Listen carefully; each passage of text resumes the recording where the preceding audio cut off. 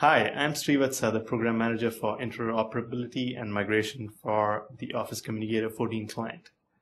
Office Communicator 14 offers exciting new conferencing features, and I'm here to tell you how your users can have the best online meeting experience during beta.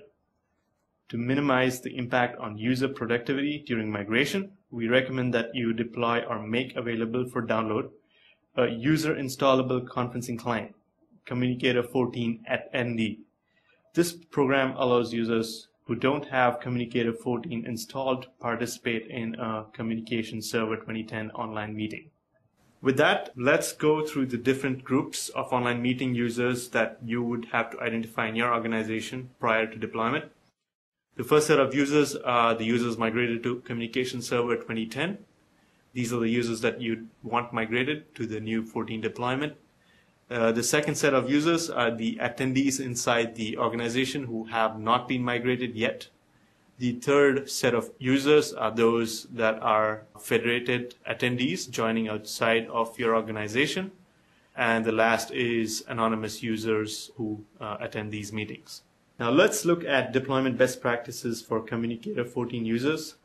Deploy Communicator 14 to meeting organizers as soon as they have been migrated the cost of this step is that in order to support conferencing during beta, you cannot do a phased client deployment. The benefits are significant though. Simplified meeting scheduling and joint experience for organizers, access to all online meeting features, and reduced help desk calls for administrators.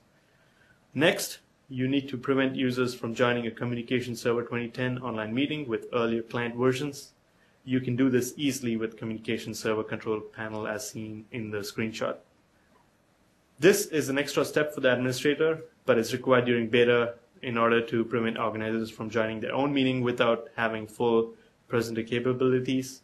In some cases, you might even have meetings that can't take place if the organizer tries to join with an earlier client version. As a last step, we recommend that administrators advise the users that have just been migrated to reschedule any existing server-based live meeting web conferences as the new Communication Server 2010 online meeting. Thanks, and that concludes the migration best practices for online meetings.